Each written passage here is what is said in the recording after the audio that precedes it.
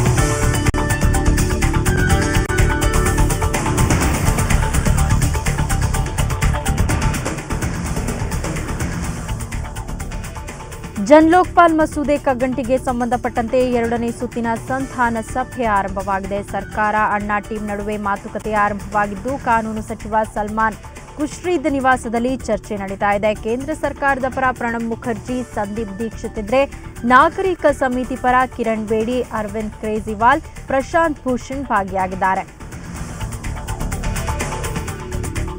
ಈ ಬಗ್ಗೆ ಮತ್ತಷ್ಟು ಮಾಹಿತಿಯನ್ನು ಪಡೆಯೋಣ. ನಮ್ಮ ಪ್ರತಿನಿಧಿ ಪ್ರಶಾಂತ್ ಈಗ ನಮ್ಮ ಜೊತೆ ದೂರವಾಣಿ ಸಂಪರ್ಕದಲ್ಲಿದ್ದಾರೆ. ಪ್ರಶಾಂತ್ ಜನ್ ಲೋಕ್ಪಾಲ್ ಮಸೂದೆಗೆ ಸಂಬಂಧಪಟ್ಟಂತೆ ಈಗ ಎರಡನೇ ಸುತ್ತಿನ ಸಂಧಾನ ಸಭೆ ಆರಂಭವಾಗಿದೆ.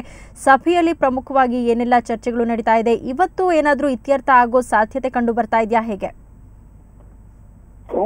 ಟೀಮ್ ಅಣ್ಣ ಮತ್ತು ಕೇಂದ್ರ ಸರ್ಕಾರದ ನಡುವಿನ ಮಾತುಕತೆಯ ಎರಡನೇ ಏನು ಸಭೆ ಇದೆ, ಅದು ಪ್ರಾರಂಭವಾಗಿದೆ. ಸಲ್ಮಾನ್ ಖುರ್ಷೀದ್ ನಿವಾಸದಲ್ಲಿ ಈ ಒಂದು ಸಭೆ ಪ್ರಾರಂಭವಾಗಿದೆ. ಸಲ್ಮಾನ್ ಖುರ್ಷೀದ್ ಮತ್ತು ಸಂದೀಪ್ ದೀಕ್ಷಿತ್ ಸರ್ಕಾರ ಕೊಡದಿಂದ ಭಾಗವಹಿಸಿದ್ರೆ ನಾಗರಿಕ ಸಮಿತಿ ಪರವಾಗಿ ಕಿರಣ್ ಬೇಡಿ, ಪ್ರಶಾಂತ್ ಭೂಷಣ್ ಮತ್ತು ಅರವಿಂದ್ ಕೇಜ್ರಿವಾಲ್ ಇದ್ದಾರೆ. ಪ್ರಮುಖವಾಗಿ ಮೂರು ವಿಷಯಗಳಲ್ಲಿ ಕಂಗಂಟಿದೆ. ಒಂದು ಪ್ರತಿಯೊಂದು ಇಲಾಖೆಯಲ್ಲಿ ಸಿಟಿಜನ್ ಚಾರ್ಟರ್ ಮಾಡ್ತಕ್ಕಂಥದ್ದು. ಇದು ಸರ್ಕಾರ ತಕ್ಷಣಕ್ಕೆ ಅದನ್ನ ಒಪ್ಕೊಳ್ತಾ ಇಲ್ಲ. ಎರಡನೇ ವಿಷಯ, ಲೋವರ್ ಬ್ಯೂರೋಕ್ರಸಿಯನ್ನ ಏನು ಕೆಲ ಹಂತದ ಅಧಿಕಾರಿಗಳು ಮತ್ತು ನ್ಯಾಯಾಲಯಗಳಿದೆ. ಅವುಗಳನ್ನ ಲೋಕಪಾಲ್ ವ್ಯಾಪ್ತಿಗೆ ತರಬೇಕು ಅಂತಕ್ಕಂಥದ್ದು ನಾಗರಿಕ ಸಮಿತಿಯ ಒತ್ತಾಯ, ಆದ್ರೆ ಸರ್ಕಾರ ಇದನ್ನ ಒಪ್ತಾ ಇಲ್ಲ.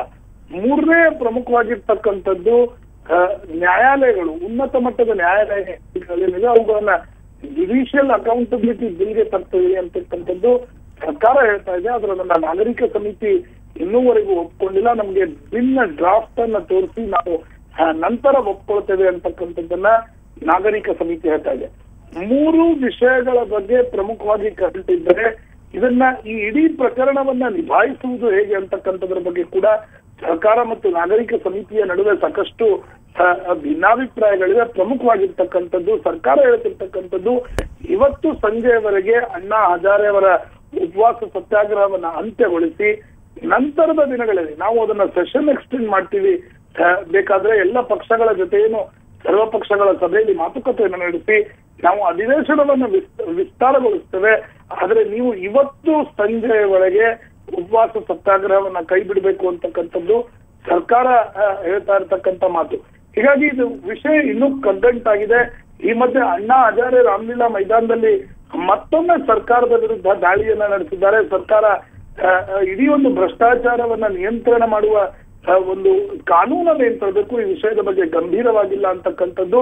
ಮತ್ತು ಸರ್ಕಾರದ ಮತ್ತು ಅಧಿಕಾರಿಗಳ ರಾಜಕಾರಣಿಗಳು ಮತ್ತು ಅಧಿಕಾರಿಗಳ ವಿರುದ್ಧ ತೀವ್ರತರವಾಗಿರ್ತಕ್ಕಂತಹ ವಾಗ್ದಾಳಿಯನ್ನ ಅಣ್ಣಾ ಹಜಾರೆ ಮತ್ತೆ ಮುಂದುವರಿಸಿದ್ದಾರೆ.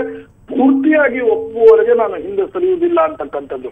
ಇದು ಮತ್ತೊಂದು ಮತ್ತೊಂದಿಷ್ಟು ವಿಷಯವನ್ನ ಕಗ್ಗಂಟನ್ನಾಗಿ ಮಾಡ್ತಾ ಇದೆ ಅಂತಕ್ಕಂಥದ್ದು ಕೂಡ ಸ್ಪಷ್ಟ. ಹೀಗಾಗಿ ಸರ್ಕಾರ ಮತ್ತು ನಾಗರಿಕ ಸಮಿತಿಯ ನಡುವಿನ ಮಾತುಕತೆ ಏನಿದೆ ಅದು ಈ ಒಂದು ಸಭೆಯಲ್ಲಿ ಒಂದು ಅಂತಿಮ ಹಂತವನ್ನ ಪಡೆಯಲಿದೆ. ಸರ್ಕಾರ ಏನ್ ಬಯಸುತ್ತೆ ಅಂತಕ್ಕಂಥದ್ದು ಈಗ ಸ್ಪಷ್ಟವಾಗಿ ನಾಗರಿಕ ಸಮಿತಿಗೆ ಹೇಳಲಾಗುವುದು. ನಾಗರಿಕ ಸಮಿತಿ ಏನ್ ಬಯಸುತ್ತೆ ಅಂತಕ್ಕಂಥದ್ದನ್ನು ಈ ಒಂದು ಸಭೆಯಲ್ಲಿ ಅವರು ಕೂಡ ಸ್ಪಷ್ಟಪಡಿಸಲಿದ್ದಾರೆ ನಂತರ ಈ ಮಾತುಕತೆಯನ್ನ ಸರ್ವ ಪಕ್ಷಗಳ ಸಭೆಯಲ್ಲಿ ನಡೆಸಲಾಗುವುದು. ಅಲ್ಲಿ ಒಂದು ಕನ್ಸೆನ್ಸಸ್ ಒಂದು ಸರ್ವಸಮ್ಮತಿಯನ್ನ ಪಡೆದು ಸರ್ಕಾರ ಒಂದು ಅಂತಿಮ ನಿರ್ಧಾರವನ್ನ ತೆಗೆದುಕೊಳ್ಳಲಿದೆ. ಅದನ್ನ ನಾಗರಿಕ ಸಮಿತಿಯು ಕೂಡ ಒಪ್ಪಬೇಕಾಗಿರ್ತಕ್ಕಂತ ಆ, ಪರಿಸ್ಥಿತಿಯಲ್ಲಿ ಪರಿಹರಿಸಬೇಕಾಗಿರ್ತಕ್ಕಂತ ವಿಷಯಗಳು ಯಾವುದು ಅಂತಕ್ಕಂಥದನ್ನ ಕೂಡ ಪರಿಶೀಲಿಸಲಾಗ್ತಾ ಇದೆ. ಧನ್ಯವಾದ ಪ್ರಶಾಂತ್ ತಮ್ಮೆಲ್ಲ ಮಾಹಿತಿಗೆ.